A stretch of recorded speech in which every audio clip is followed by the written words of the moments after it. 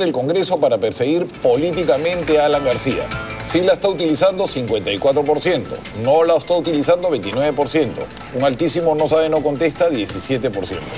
Bueno, sobre el mismo personaje, vamos con el siguiente cuadro, el número 10. Esto no le va a gustar nada al expresidente. Cree que Alan García es inocente o culpable del delito de corrupción por el que se le investiga en el Congreso.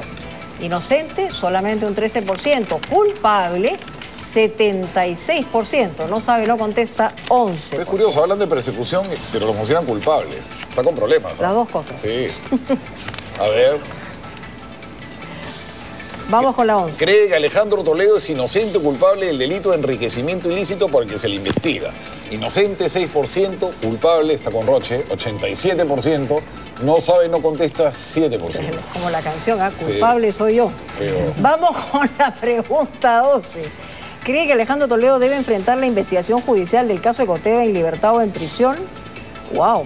En libertad, 38%. En la cárcel, en prisión, 53%. No sabe, no contesta, 9%. poco excesivo, debería ser con restricciones, ¿no? Más que con Vamos a ver qué piensa ¿Qué nuestro panel. tenemos? La última, la última. Venga, de esta parte. ¿Cree que el gobierno, a través de sus congresistas, blindará o no a Alejandro Toledo en la investigación que se le sigue en el Congreso por el caso Ecoteva? Sí lo blindará, 54%. No lo blindará, 26%. No sabe, no contesta, bastante alto, 20%. Empezamos por Beto. ahora. Beto y su Bueno, yo, yo creo que Alan García debería preocuparse de que